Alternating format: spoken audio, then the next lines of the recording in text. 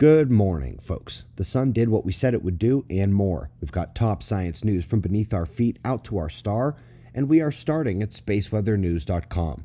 We find the last 24 hours on the sun with a number of pops around the limbs. The bright active regions are turning towards the far side, and that big filament erupted as well, but we'll need a better wavelength view to see it. Solar wind up first here, though, as we are very slowly entering a faster solar wind stream. Faint edge of a coronal hole and geomagnetism is quiet thus far, handling it well. In 304 angstroms, you can see all the eruptions, numerous filaments ejected, including the incoming and centrally located plasma ropes. The central one, erupting last here, went off completely to the right side, meaning luckily the bulk of that CME should miss Earth.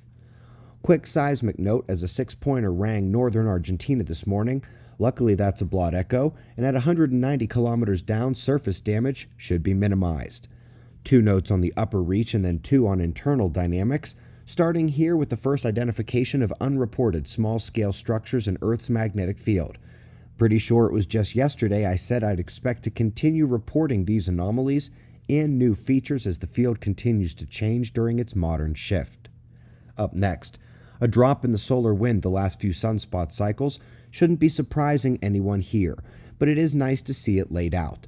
It speaks to the downward trend of the solar output that is also seen in sunspots and magnetic field strength. Sadly, dropping to lower levels means less frequent but more build-up potential for those rarer events. Now let's come back down to Earth, where the ocean conductivity has been mapped at the surface, in the deep, and in the sediments on the ocean floor. Banded peak readings at low latitude, which is expected since it has the highest salinity. But now let's go even deeper and drive a stake into the heart of one of the two leading theories of the LLSVPs the large low shear velocity provinces, Earth's internal skeleton. The competing theory taking the stake today is the idea that these are nothing more than recycled crust that's subducted downward. And it's wrong. While the analysis did find evidence of subducted material near the eastern boundary of the Pacific plume, the plume itself is not recycled material falling down and piling up. They are core mantle boundary protrusions sticking out of the core, which is why they carry the denser and more conductive character, just like core material, even as they finger up through the mantle and to various hotspots around the globe. It's the number one seismic challenge during the greatest solar blast, as it can take the normal mantle induction and feed it to the core. Mantle heaving, volcanic disaster, rift ripping, and more. We greatly appreciate your support. The LLSVPs are a critical aspect of Earth's disaster cycle's manifested effects for us living here on the surface. Watch our playlist and full movie at the link below the video.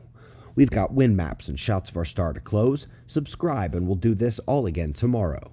Right here, but right now at 6 a.m. in the new Valley of the Sun. Eyes open. No fear. Be safe, everyone.